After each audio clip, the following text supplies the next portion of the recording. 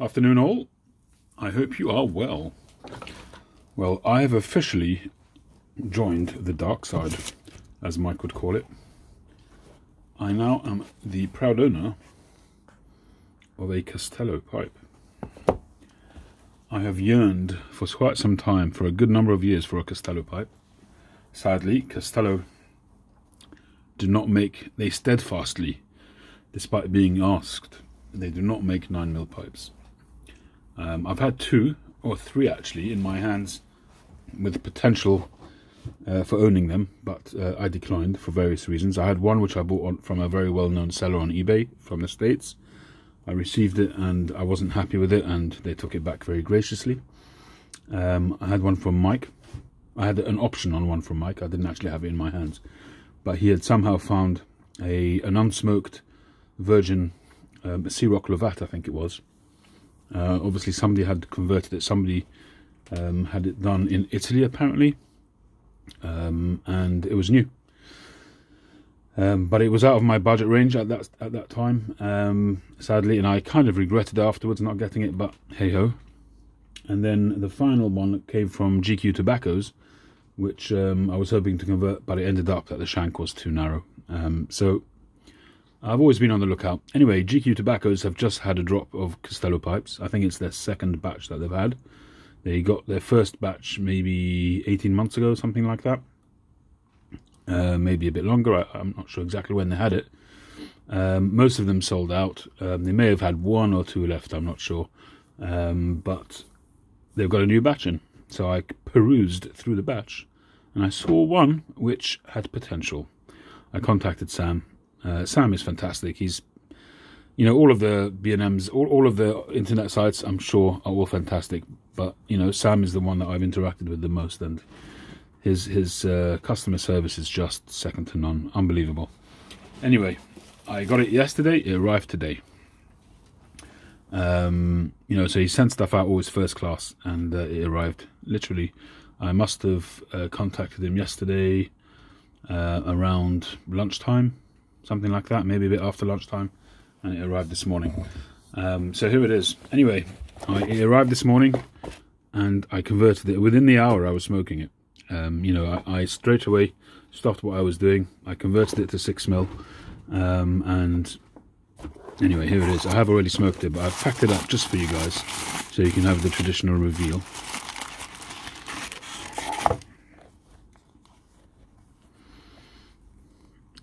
Quite a chunky pipe. I mean, just look at the size of that bit. It's huge. I don't know if you can get the sort of comparison with my finger, but it's a very big bit. It's a chunky. Just look at that rustication, how deep the gouges go.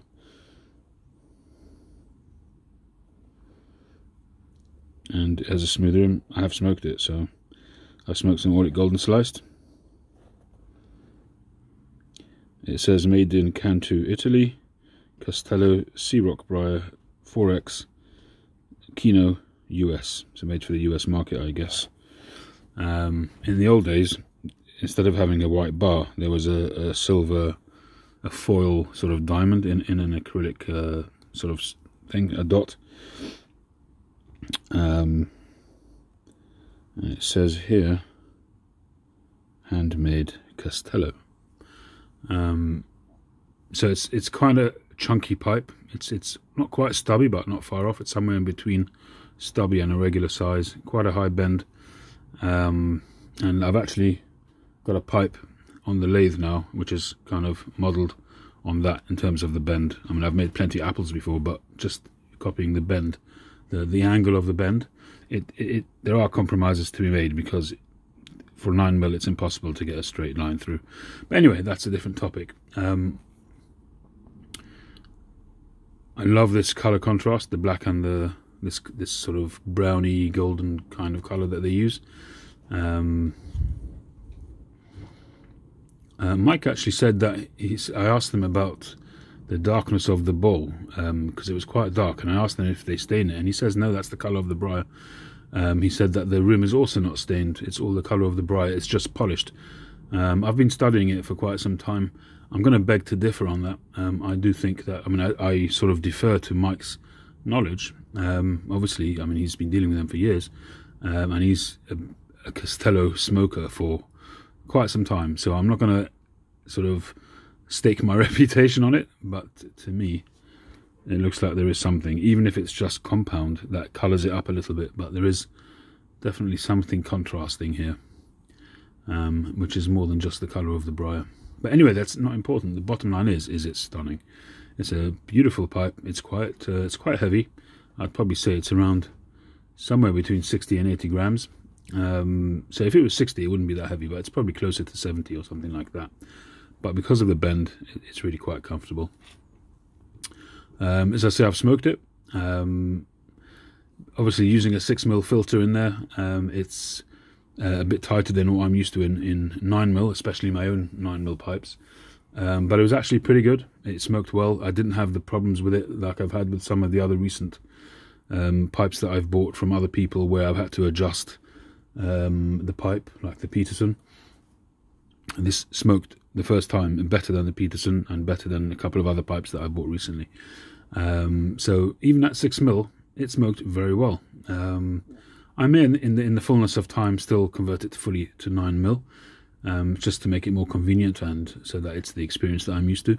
I packed it light, which definitely definitely helped, and I broke my rule and I did not do I didn't I didn't do the honey treatment. I didn't coat the inside of the bowl with honey because I wanted to experience Castellos as they are. Um, you know, Mike always tells me about the Castellos that they, they there is a difference of taste. He finds that they uh, tobacco tastes somewhat brighter in Castellos. Anyway, so I mean, I can't compare it to anything else because it's the only Castello that I've smoked. But um, maybe now this will be the beginning of uh, a little mini, a mini, a little mini grouping of Castello pipes. We'll see. I'll have to be on the hunt now for pipes with uh, thicker shanks. Um, anyway, I'm just really excited to have finally, finally been able to um, obtain a Castello.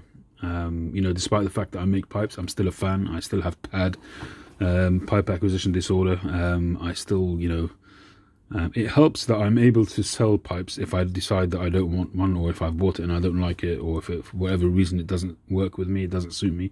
So I'm in a position that I can sell them mostly. Um, but I'm still a fan. You know, I'm still I've still got um, yearnings for certain pipes or certain brands, and Castello was definitely right up there on my list. Um, and so far, it's early to say, obviously, I've only had one smoke, but if I compare my first smoke with the very many other first smokes that I've had, it was a good one.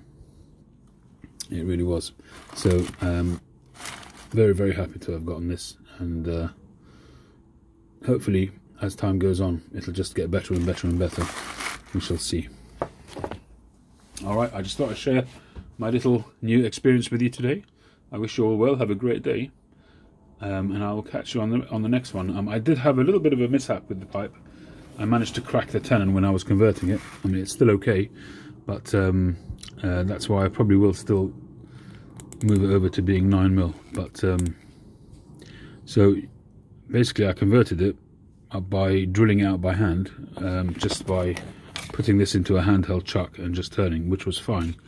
But when I went to the final thickness, I don't know why, because I was going in half half millimeter increments, but for some reason it cracked. And I've still got the piece which I'll glue back on, but the filter sits in there no problem because I've actually had to drill it all the way in to take the filters. The 6mm filters are really long. Um, so I'm just trying to see if they're actually longer than 9mm ones.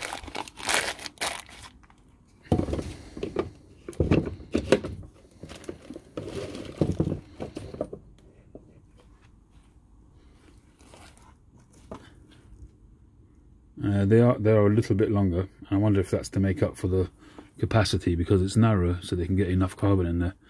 But if you imagine that, it's you know got to go quite the way down. But because it's such a, a thick uh, stem, it's able to do that. I was able to drill that in. So I managed to drill all the way in. So obviously the filter's got no problem being uh, being held. You know that's absolutely fine. Um, but um, it, it, will bother me the fact that it's um, cracked. I do have the piece. it's just one whole piece which will glue back in just fine so I'll probably do that for now but um, I might even not because I think it improves the draw because there's more air getting to it as a result of the crack. It did smoke pretty well so I'm going to leave it actually.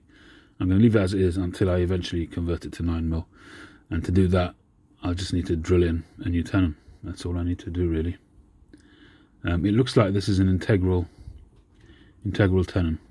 Um, this is uh, acrylic by the by the feeling of it, and uh, so I hope that there's no other issue inside there if when I drill it. I mean, it's plenty thick for me to do that.